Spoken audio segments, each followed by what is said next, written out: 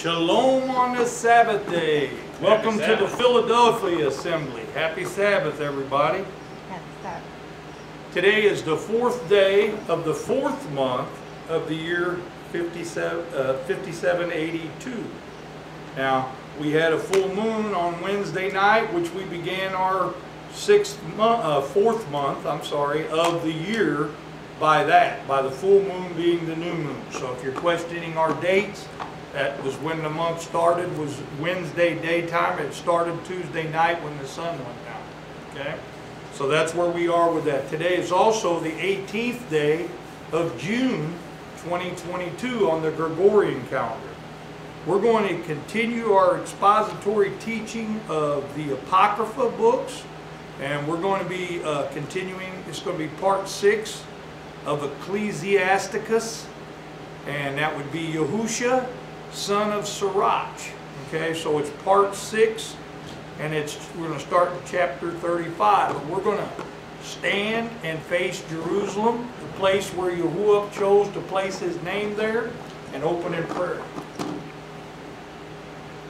Almighty Father Yahuwah, we praise you in all things. Father, we thank you for another wonderful week of life here on your creation. Father, we ask uh, that you would continue to keep your hedge of protection around us, and we thank you for providing our day-by-day needs. And Father, we ask that you would heal those that are sick.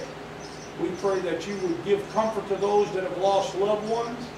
And Father, we most of all, we ask that you would send an extra anointing of your Spirit today, Father, your Ruach, to teach us all things. Father, as we go to this teaching, this expository teaching of Yahusha, son of Sirach, we ask that you give us understanding, Father. And Father, give me the correct words to say as I expound upon it.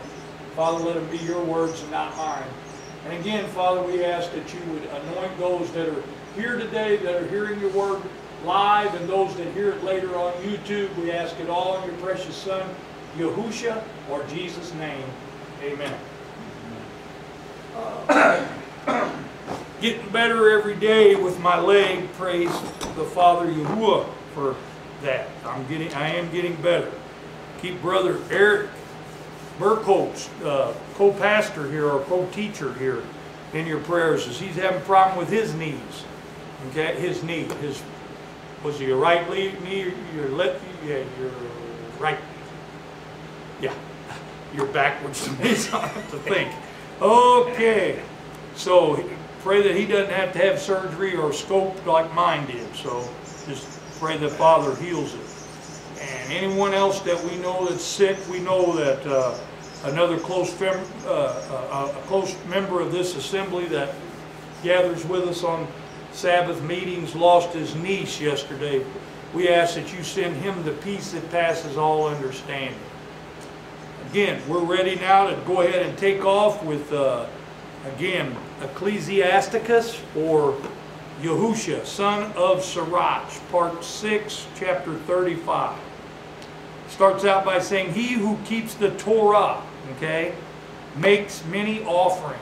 Now, we know the original offering, they gave all the physical sacrifices, and we still give certain physical sacrifices. We don't do the blood sacrifices, but we still give forth, you know, of our increase to the Father, and that is part of showing our faith. But these physical offerings and tithes that they gave back then were all pointing towards these spiritual sacrifice and physical tithings that we still yet do today. Okay? He says, He who keeps the Torah makes many offerings. In other words, according to the commandments.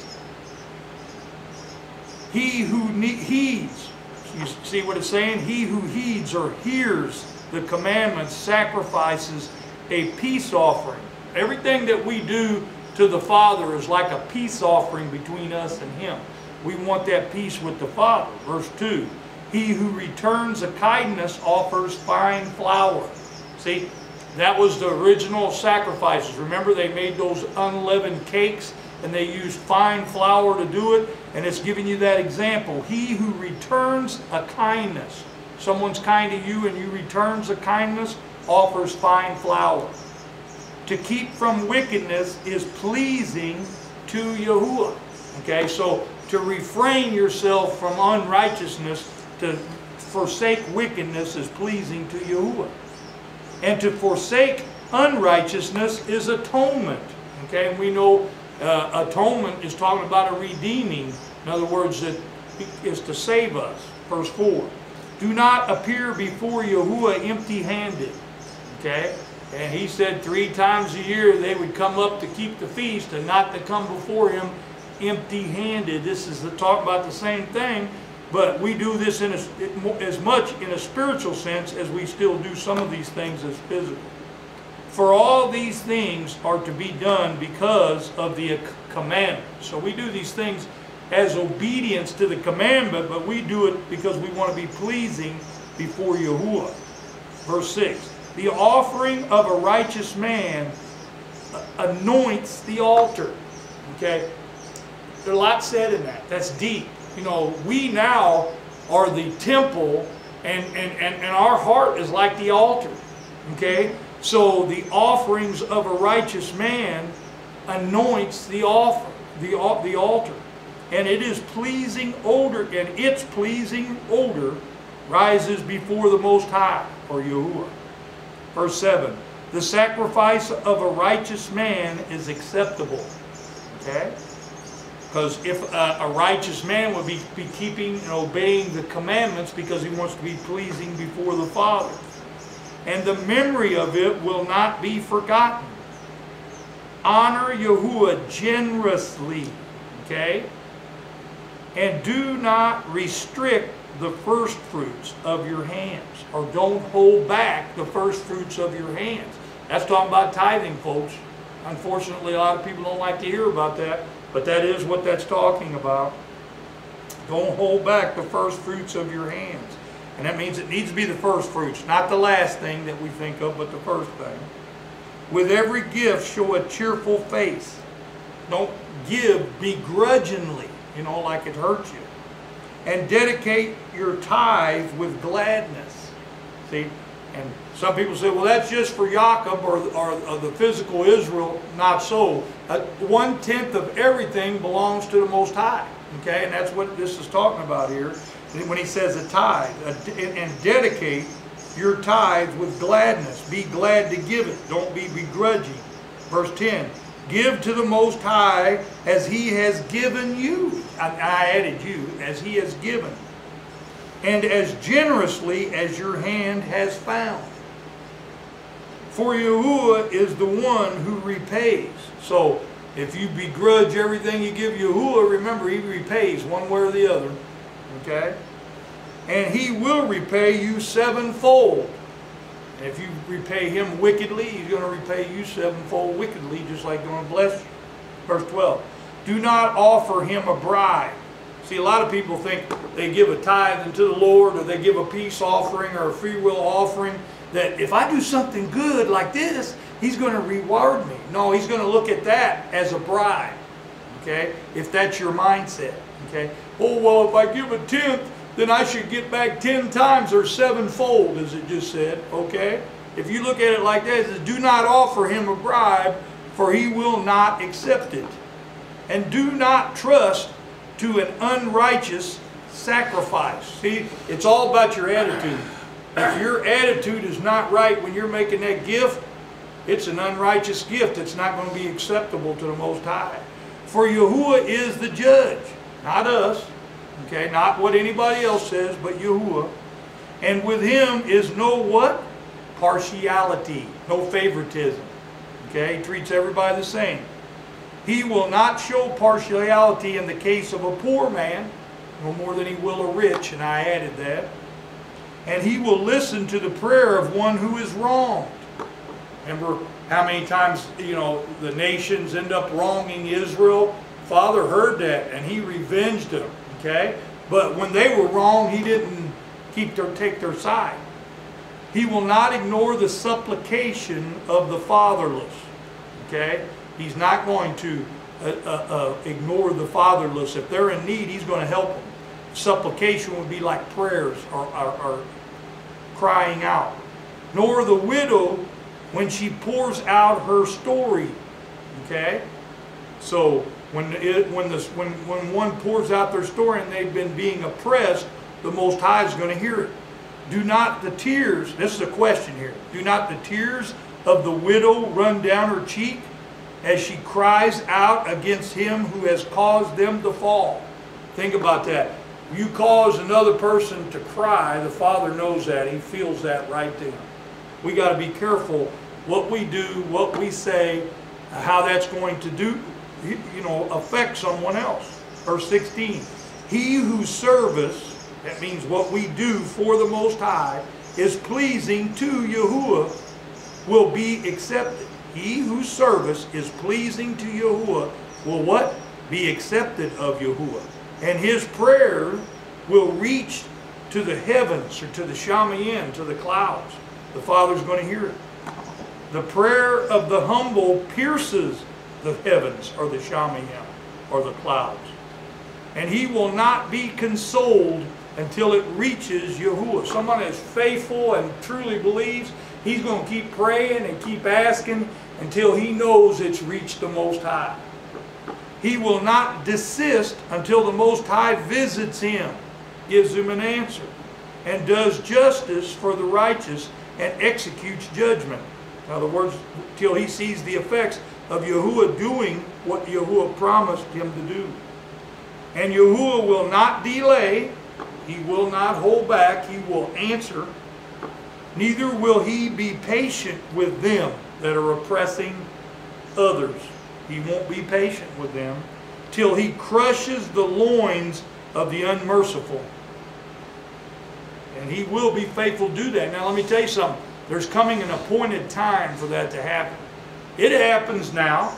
You know, for the, a lot of times for a season, the wicked will prevail because the rain falls on the just and the unjust. But Yahuwah, it always comes around. It always comes around. Now, but there is an appointed time till he crushes the loins of the unmerciful and repays vengeance on the nations. Now he's talking about anybody other than Israel. Now what you got to get in your understanding, it's not just physical Israel, it's anyone other than the commonwealth of Israel. Okay, because you have to take everything in count. You can't just take out the parts you like or dislike. Okay? Till he takes away the multitude of the insolent. You know what an insolent is? Disrespectful, that insults. That's what he's talking about. And breaks the scepter of the unrighteous. You, you see them rise and fall. Nations rise and fall.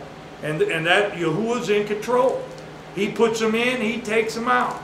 But he does not have patience with the unrighteous. He will take them out quickly a lot of times.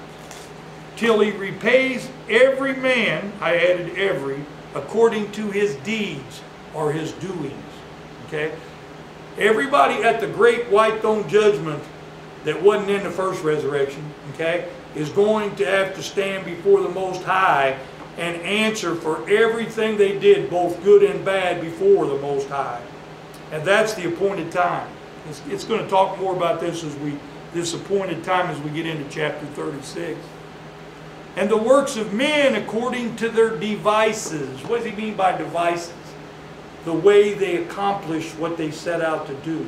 That's your devices. Okay? If you set out to do something and you use evil devices to make something and you think you're doing something good, he's judging you also according to your devices. Okay? The way you add. And he says, till he judges, we know when he's going to judge at that appointed time, the great white throne judgment, the cases of his people, and makes them rejoice in his mercy. Now, that's what's going to happen at the white throne judgment the ones that uh, are allowed to come into the kingdom according to their deeds, those are going to be the, his people as well as those in the first resurrection. And, and they will all rejoice in his mercy because if they're in that great white throne judgment, that's his mercy if they continue into the kingdom. Verse 20 Mercy is as welcome when he afflicts them. In other words, his mercy is also welcome even when you're under afflictions. You got to recognize that. As clouds of rain in the time of drought. A lot of times we're in afflictions and we're wondering why things are happening on like they are happening. Just wait. that is an affliction. When that passes, there's going to be a blessing. Chapter 36. Listen to what this says. It says, Have mercy upon us, O Yahuwah, the Elohim of all the land. Look upon us. And cause the fear of you to fall upon all the nations. Now, that's already begun, but it has not been fulfilled or finished. Okay, in that sense. Lift up your hand against foreign nations. This is a prayer of Israel to lift up his hands that were against his people. And it's going to be the same for those that are grafted in. Okay? And let them see your might. As in, you, in, as in us, you have been sanctified. In other words, by the deeds of the people, them keeping his Torah, his right rulings, that had set Yahuwah apart before them. See, that's just like back in Egypt when he sent those plagues on the children, of, on the sons of Egypt, and he didn't do that upon the Israelites. That was to show the whole world, not just Israel, he, who he was and his might. And their deeds, by obeying Yahuwah, set Yahuwah apart. Listen to what it's saying here. So in them, be you magnified before us. Each one of us are magnified or set apart or brought up by uh, before everyone else by our deeds. And let them know you as you have known that there is no Elohim but Yahuwah. No Elohim but you, O Yahuwah. Verse 6. Show signs. They're praying for Yahuwah to show signs anew and work further wonders. Make your hand and your right arm glorious. And he's talking about his spirit that come down in the temple and illuminated the temple. Let's listen. Arouse your anger. Because, and, and that's who went before Israel in that cloud of smoke in the, in the daytime and that pillar of fire at night.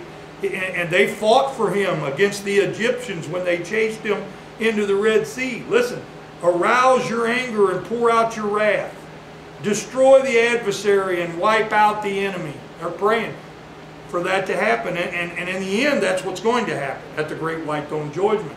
But you have to wait on this next verse. Hasten the day and remember the appointed time.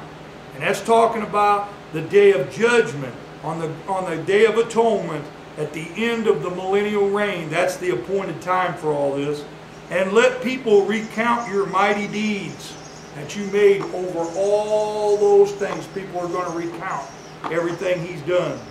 Verse 9, Let him who survives be consumed in the fiery wrath, and may those who harm your people meet destruction. The fiery wrath is on that great white throne judgment when everyone that enters that lake of fire and he says and let your and let your people meet destruction or see destruction verse 10 crush the heads of the rulers of the enemy.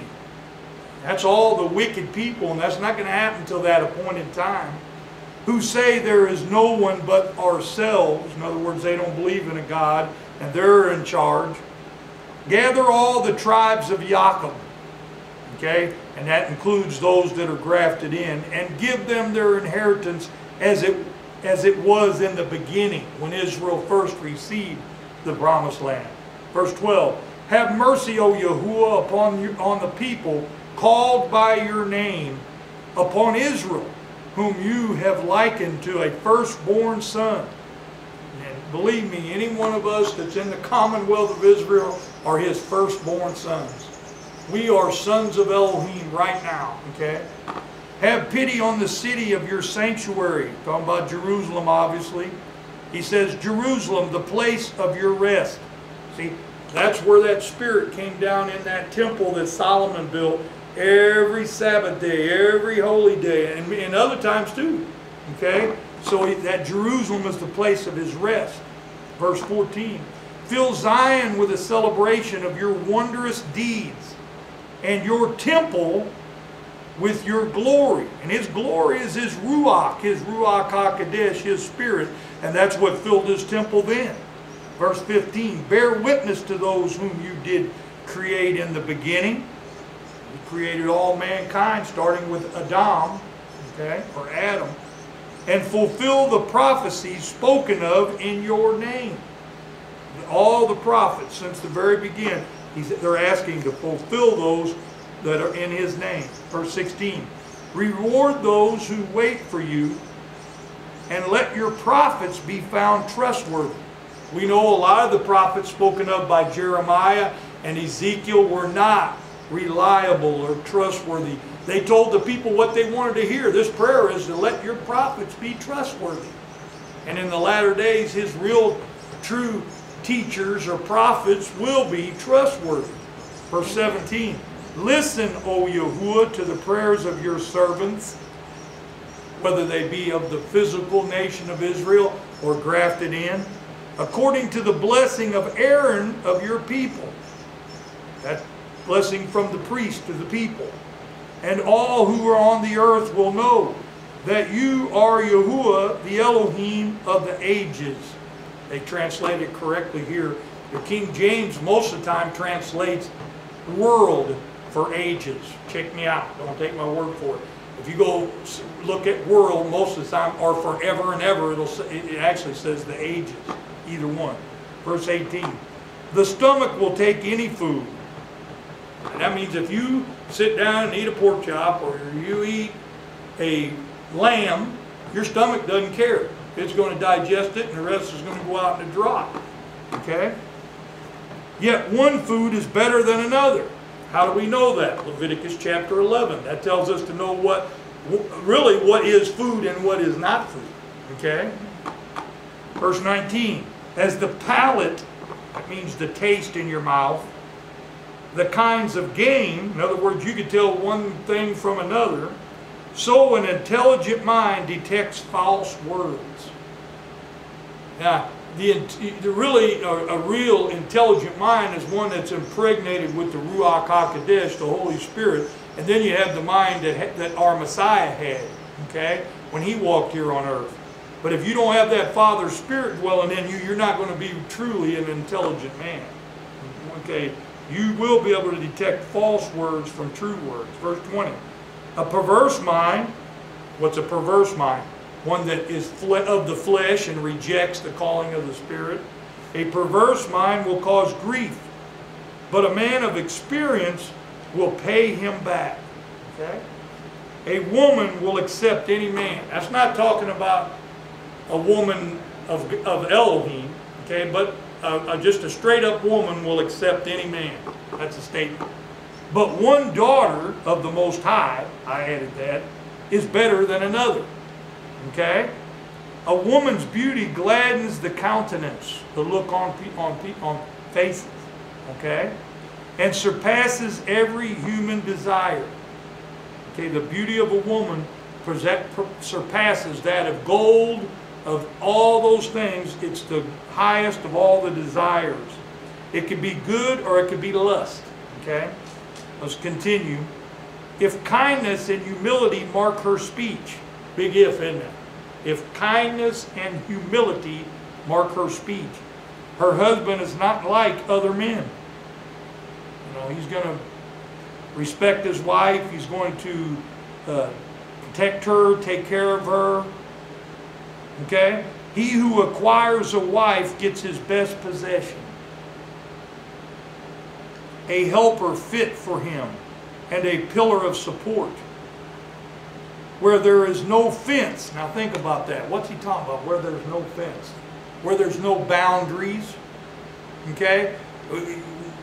If you, a person has to have boundaries, okay, and, and wives are no different. Okay, listen, where there is no fence or no boundaries, the poverty will be plundered. Okay, you understand? Okay, if the wife doesn't have boundaries, her her uh, whatever will be plundered. I'm not searching for a word, but you know where I'm going with that. And where listen, and where there is no wife, a man will wander about and sigh from one woman to the next. That's what it's talking about. Let's keep in context. For who will trust a nimble robber? I, I know people that's been 60 years old and they were still playing Casanova. Okay, that's listen to what's being said. That skips from city to city, and that's saying from woman to woman. Okay? So who will trust a man that has no home? And that's not talking about a house, okay? That's talking about somebody that you can see is a Casanova and he's skipping from one woman to another. He has no home and he has, that's the reason, okay? Because he's still living like that. And lodges wherever night's, night finds him. I'm trying to remember a name of a song that would, remember the song The Night Owls? Little River Band, I believe, did that song, The Night Owls. Listen to that sometime. They're out there still, the Night Owls, and some of them are 50, 60 years old, still chasing women and moving from city to city, just like this is talking about. Verse 37, now he's going to shift and he's going to start talking about friends, real friends, and ones that might be pretenders. 37, he says, Every friend will say, I too am a friend. And they will. They'll tell you they're your friend even if they're not. Okay? But some friends are friends only in name. Okay, they'll say, that's my friend such and such, you know. Is it not a grief to the death when a companion and friend turns to an enemy? You couldn't do anything worse to a man that you he was your true friend and then you've become his enemy. I mean, that cuts you to something you don't ever get over with. Okay? Verse 3. Oh, evil imagination. He's talking about the heart of man when he says, oh, evil imagination, minus the spirit of the Most High. Why were you formed? You know, that's that flesh, that lust, all those things that control the human mind. To cover the land with deceit. That's what flesh does. Some companions, that's not real friends, rejoice in the happiness of a friend. Someone can be your companion without being your friend, but a real friend rejoices in the happiness of a friend. But in time of trouble are against him. See, you got companions like that. I remember my mom used to say, yeah, you got a lot of friends, wait till you run out of money. You ever notice how quickly, you, I mean, I remember back in the days when, you know, you drinking with your buddies or whatever, and then you know, you, they'd be your best buddy till you didn't have another dollar and then they were gone. That's what this is talking about, okay? And I don't care if people know that I did that when I was younger. I did a lot of things when I was younger that I don't do now, okay? But this is how people are. I've always been the one that would give you my last dollar. You know, that's just who I am. Verse 5, some companions help a friend for their stomach's sake. What's that mean? They'll help you. They're looking for repayment. Okay, they're looking for a way that they're going to get ahead. And in the face of a battle, take up the shield against you. That's what it's talking about. When a, when a battle comes, they're not going to be on your side. Do not forget a friend in your heart. Don't do it. You know, no matter what they do, don't forgive a friend in your heart. And be not unmindful of him in your wealth. So when you get rich, don't forget your friends. Verse 7. This is talking about those that claim to be counselors. Okay? And as if you are a servant of the Most High, you should be a counselor. First in the scriptures and then as friend. Just what we were just talking about. It says, every counselor praises counsel. A real counselor praises counsel. In other words, if, I'm, if you're in the wrong and somebody comes to you in, a, in the right spirit and tries to counsel you, you, you you're going to praise counsel. But some give counsel in their own interest. In other words, they'll give you advice that's in their best interest, not in the friends that they're counseling. Be wary of a counselor. In other words, someone that gives you counsel. You know, think about, is he doing this in my best interest or his own? and learn first what is his interest. For he will take thought for himself. It's not my words, reading a book here, okay? Lest he cast the lot against you and tell you your way is good. In other words, he'll go along with you because he thinks that's going to help his purpose, cause. And verse, in this next part of this verse, and then in, in, in this translation says aloof. A lot of people don't know what the word aloof means, okay? Aloof means uncaring, cold, distant, okay? So he's saying here that they'll, at least they, in other words, they're going to do it to increase their own good, and then stand uncaring and cold, okay, to see what will happen to you, to see if they're going to gain from your loss. Do not consult with one who looks at you suspiciously. If he doesn't trust you, don't take counsel from him. It says, hide your counsel from those who are jealous of you. In other words, don't say anything. Just be quiet. If they're jealous of you, you're not going to be able to say one thing that's going to help them. Okay?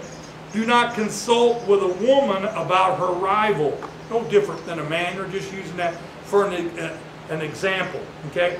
If a woman has a woman that's another woman that's her rival, don't go to the, one of them women to ask about the other one because they're going to give you bad testimony. Just like you have some people come to your house and they'll tell you something bad about another servant of the Most High and they'll give you every reason in the world why that other servant's bad. I don't take judgment like that. Okay, I listen and I don't realize that there's two sides to every story because you can't do that because those people are probably their rival, if you know what the word rival means. And it says, or take counsel, I, I added take counsel, or consult with a coward about war. You know, because a coward doesn't want anything about war. With a merchant about bartering. merchant is someone that sells to get gain, so you don't talk to him about trading, okay? Or with a buyer about selling. If this guy's a buyer, you're asking him about selling, he's going to be trying to take advantage of you. With a grudging man about gratitude. See how all this makes sense? Or with a merciless or an unmer uh, some man without mercy about kindness. You see this man has no mercy on anybody, why ask him about kindness? With a, with a lazy or idler, somebody that doesn't want to work, and you know that, about any work. Or with a man hired for a year about completing his work. With a lazy servant about a task. Pay no attention to these in any matter of counsel, but stay constantly with a godly or righteous man, whom you know to be a keeper of the commandments. See, that's who you want to take your counsel from. Someone you know is a keeper of the commandments, whose life is in accord with your life, soul, it says here. In other words, he's got something that same like interest of you as you do, and who will sorrow with you if you fail, and establish the counsel of your own heart. For no one is more faithful to you than it is. For a man's life sometimes keeps him better informed than seven watchmen sitting high on a watchtower. Your own life, your own experiences. Okay, that's what it's talking about. And besides all this, pray to the Most High all the time, unceasingly. I added all that. That He may direct your way in truth. When I first got converted, when I realized, well, at, at least when I first got converted, I thought that I had been so deceived by everybody how they hid the Sabbath day and all the blessings that come along that with that from me. I was so angry I didn't talk to anybody for about a week. I didn't know what to do. I, I just felt like I'd been betrayed. But then, I, when I thought about it and realized that they too had been betrayed and, and, and lied to, I was able to get past that. But I prayed to the Most High every day after that, asking Him to give me the truth and that His Word was right and everything else was wrong. And that's where we got to get to, that He, Yahuwah, may direct our way in truth.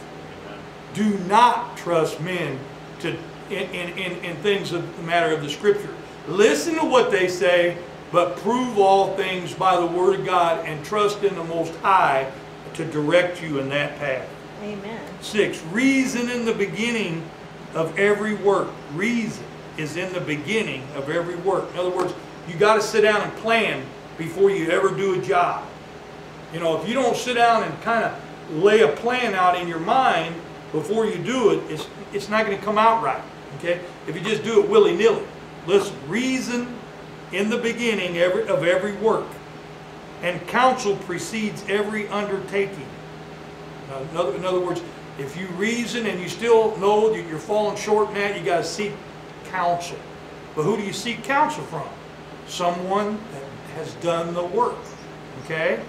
Verse 17. As a clue to changes of heart. See? Because that's what it's all about is a real change of heart. For turns or for fortune appear. Good and evil, life and death. And it is the tongue that continually rules them. So in other words, when you meet someone, don't try to do all the talking. Let them talk. Because they're going to tell you what kind of person they are within the first day or two if you're around them very much. Okay, just listen to how they talk, what they talk about. You'll understand what they're all about. Whether it be fortune, whether it be good, whether it be evil, whether it be a good life or death. Okay? And then the tongue, and it is the tongue that continually rules them, every person. A man may be shrewd, okay, and he might be able to deceive you for a while, okay, he might be able to say some good things, and the teacher of many, and yet be unprofitable to his own, to himself. A man skilled in words may be hated. He will be destitute of all food, for grace was not given him by Yahuwah. Okay? since he is lacking in all wisdom. A man may be wise to his own advantage, in other words, to build up his own self, and the fruits of his understanding may be trustworthy on his lips. Maybe, may not be. A wise man will instruct his own people, and the fruits of his understanding will be trustworthy. Because why? He cares about his own people okay, if they're truly his people, a wise man will have praise heaped upon him. Because people know what you, you know, I, we used to have an old, saying, we had a saying, I'm not going to say it's an old saying, it might be. He said, people don't care how much you know till they know how much you care. So you might know a whole lot of stuff, but if you don't care about nobody, they're not going to lift you up and praise you. Okay? Listen to a person. Let them speak. Let them tell them what kind of person they are. Because people really don't know, care how much you know till they know how much you care. A wise man will have praise heaped upon him. And all will see him, all who see him will call him happy. Okay? The life of a man is numbered by days. Yep. Everybody's got different amount of days. Some people live long, some people don't. But the days of Israel are without number. Wow the true people of Israel, not the just the blood Israel, but the true Israelites number are their days are without number. That's because they're going to continue on into the new heaven and new earth. He who is wise among his people will inherit confidence. See, our Messiah spoke with confidence. And any of us that are teaching the word of Elohim should be speaking with confidence. Okay? and his name will what? Live forever. Verse 27, My son, test your life while you live. Hmm, how do you test your life while you live? See what is bad for it, and we know breaking his commandments are bad for it, and do not give it that. In other words, you know what's good and what's evil, do what is good. For not everything is good for everyone. Isn't that true? And not every person enjoys everything.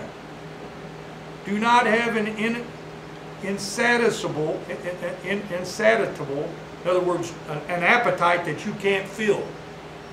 Okay? For any luxury, no matter what it is. If it's something that you don't have to have, it's a luxury.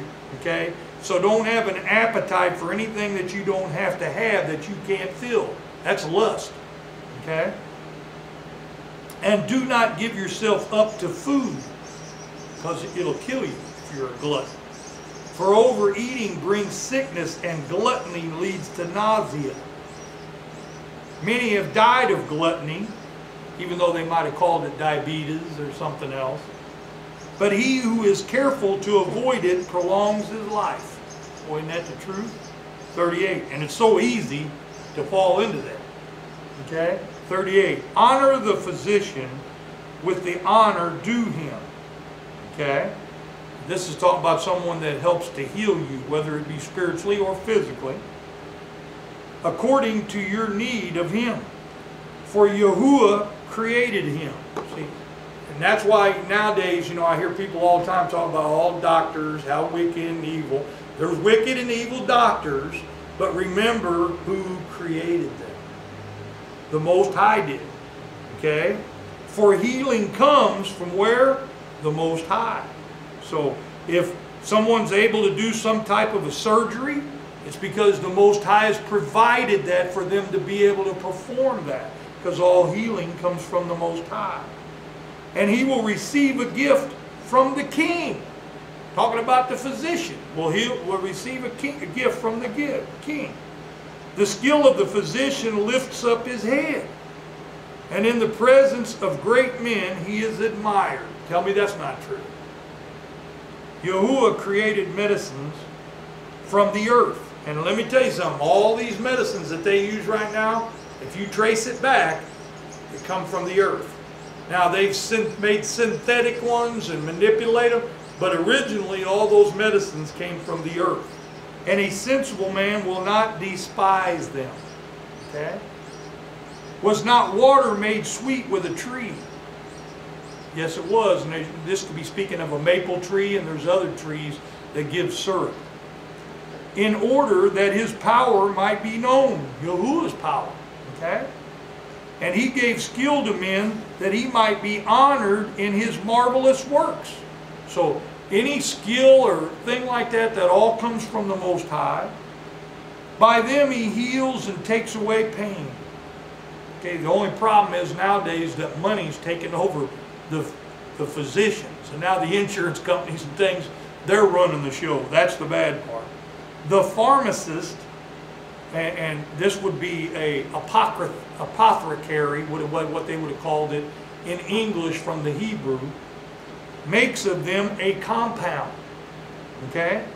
He worked, he his works will never be finished. And from him health is upon the face of the earth, the apothecary. Okay? They got pharmacist in here, but it's apothecary. Verse 9 My son, when you are sick, do not be negligent, but pray to Yahuwah, and he will heal you. Give up your faults and direct your hands aright, and cleanse your heart from all sin. Offer a sweet smelling sacrifice and a memorial portion of fine flour now this is all found in the Levitical law, okay, about how to make these fine flour offerings. But remember, those are a picture of spiritual offerings. And pour oil on your offering, because that's like the Spirit being poured on you. That's an anointing. And as much as you can afford. And give the physician his place, okay, or his coming, his due for Yahuwah created him. Let him not leave you, for there is need of him. There is a time when success lies in the hands of physicians, for they too will pray to Yahuwah that he should grant them success in diagnosis. And, and I've heard some of these doctors pray before they do surgery. surgery. They're not all atheists, guys. Some of them believe too, okay? And I'm sure that they pray before they have to go and do surgery that Yahuwah will give them, you know, success in their surgeries. So make sure you are their diagnoses and in healing for the sake of preserving life. See, that's what their, their job is, is to help preserve life and to do no harm. Okay? He who sins before his maker may he fall into the care of a physician. A physician. In other words, he that sins against his maker, he better hope he can find a physician because the Most High ain't going to heal him. Okay? My son, let your tears fall for the dead. This is advice. In other words, cry for those that die when they die. And as one who is suffering grievously begin the, the, the lament or cry, lay out his body with the, with the honor due him, and do not neglect his burial. Let your weeping be bitter and your wailing fervent. Observe the mourning according to his, his merit. And I, I mean, when these kings died of Israel, they laminated and cried for seven days. You know? And if somebody is a righteous person, we should be like that. You know, you try to hold back your tears when you lose somebody because you know they're gone. But that's part of re their respect is to wail and ferment. Observe the mourning according to his merit, what he deserves. For one day or two to avoid criticism. Then be comforted for your sorrow.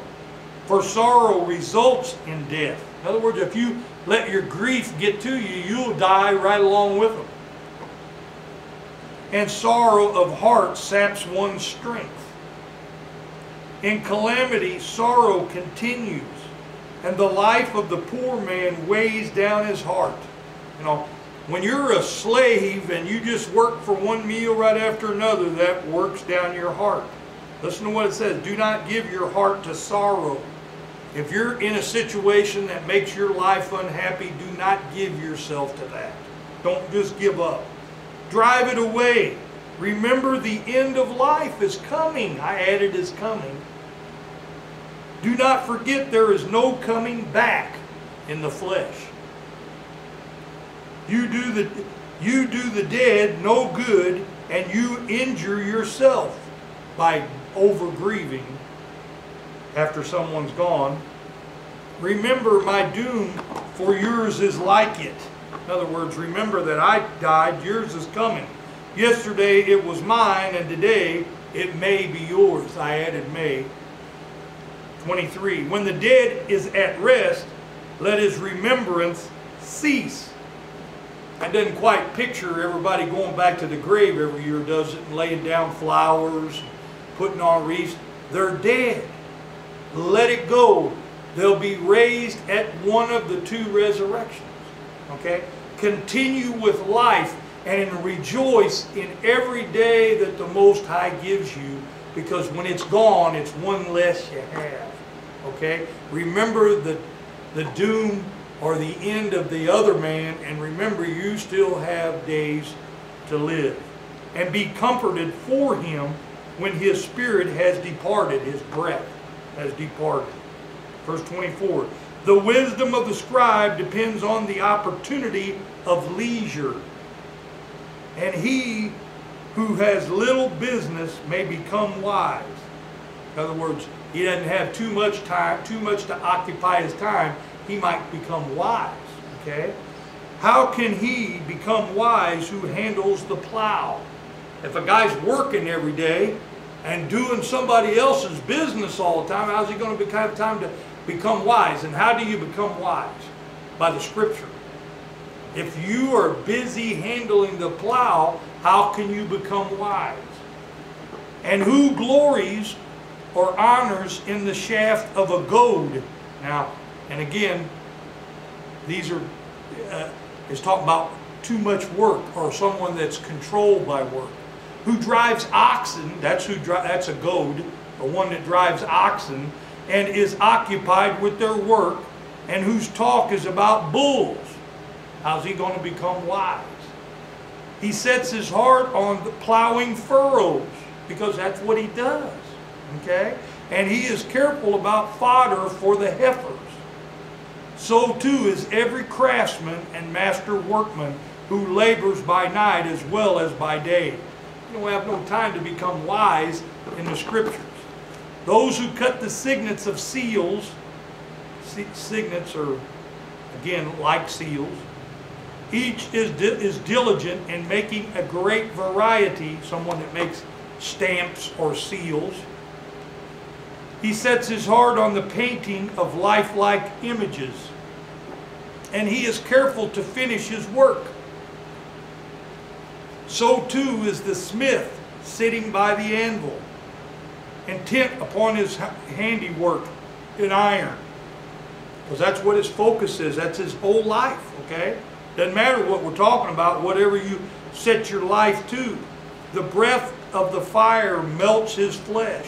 In other words, uh, someone that's a blacksmith that works by the works metal. The breath of the fire melts his flesh, and he wastes away in the heat of the furnace. He inclines his ear to the sound of the hammer, and his eyes are on the pattern of the object that he's working on. He sets his heart on finishing his handiwork, and he is careful to complete his decoration. So too is the potter sitting at the work and turning the wheel with his feet. He is always deeply concerned over his work, and all his output is by number. In other words, he's counting how much he's making. He molds the clay with his arm and makes it pliable with his feet because he's pumping the pedal. Okay, that's why. Pumping that pedal. He sets his heart to finish the glazing and he is careful to clean the furnace. And all these rely upon their hands, and each is skillful in his own work. Without them, a city cannot be established. In other words, the workman's necessary, okay? But how's he going to become wise? Notice. Without them, cities could not be established, and men can neither live, can neither live, uh, sojourn or stay nor live there. Yet they are not sought out for the counsel of people okay, because they're workmen. But if you want to make a pottery, who are you going to go to? A potter. Okay, if you're going to fix a piece of iron that's broken, you're going to go to a blacksmith. Okay, and they're all of need. They're all needed. Nor do they attain eminence in the public assembly.